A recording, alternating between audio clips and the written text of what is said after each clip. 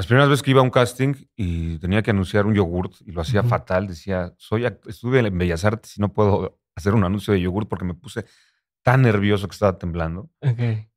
Eh, cuando pasas todas esas etapas de eh, fracasos, por llamarlos de alguna forma, y tu primera escena que ¿Sí crees en los dices- fracasos o no? Porque te vi que hiciste como... Es que no creo que sean fracasos porque al final, si no hubiera yo tenido eso, no estaría donde estoy ahora. Ok. Si no hubiera hecho Rabioso Sol, no estaría donde estoy ahora. Si no hubiera... Justo ayer, justo ayer este, platicaba con alguien, fue, una, fue la lectura de guion de la peli que voy a hacer con Ernesto Contreras. ¿Qué se llama? Se llama El último vagón. Eh, tengo escenas eh, contadas. porque Mi personaje es, digamos, en el futuro de la historia. Y esas, esas lecturas de guion me ponen muy nervioso, desde siempre. ¿Por qué? Porque yo necesito, así como esta entrevista, ¿no? Yo necesito empezar a calentar, empezar a hablar para, Mm. para empezar a sentir la sangre en el cuerpo, ¿no? Igual para, para actuar. Y entonces en esas lecturas, todos alrededor de una mesa, con el, texto, yo nada más entro a decir, buenas, doña Lucía.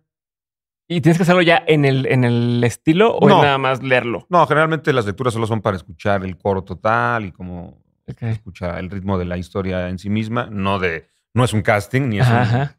ni es Pero una... no tienes que entrar en el papel. En- sí, en No, me, Kindle, me en refiero a no entrar en el papel. Ah, no. No. No. Digo, si decides hacerlo, si a ti te funciona, claro, nadie te va a decir, oye, no actúes. ¿no? Pero a mí me pone muy tenso porque a mí sí me gustaría pararme, por ejemplo, Mm. y, y sentir este. A veces muevo cosas, ¿no? Si, si digo, aquí está su café, doña Lu, sí tengo que hacer algo, aunque sea la mano. Ajá, ajá. Aquí está su café, doña Lu. Si no, no siento y entonces suena, aquí está su café, doña Lu. Y me siento raro leyendo Ajá. así y, y solo tengo líneas así Aisladas. aisladas, ¿no?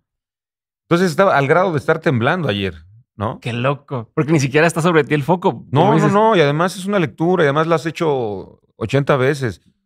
Pero eso hace 10 años me descontrolaba. Eso hace 10 años yo decía, Ah, peor. ¿qué te, qué te pasa? Esto no puede ser. Pues no eres actor Mm. y te castigas un montón. Y ahora Mm. más bien dices, así soy. Y le contaba a esta persona ayer, fíjate qué cagado, estoy temblando, pero ya sé que así soy.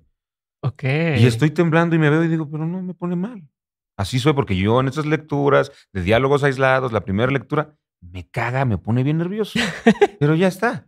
No tengo que pelearme como antes porque antes me estaba conociendo. Ya, y es peor. No. O sea, te entras en esta, en tu cabeza, ¿no? Sí, hasta piensas que tienes algo neuronal o tienes un Sí, no tumor. o, el- ¿Por qué me pongo tan nervioso antes de dar función de Sí, teatro? dices que tiemblas mucho de las manos en general, tú aparte, ¿no? Yo tiemblo que- mucho, sí. Ajá. Yo siempre tiemblo.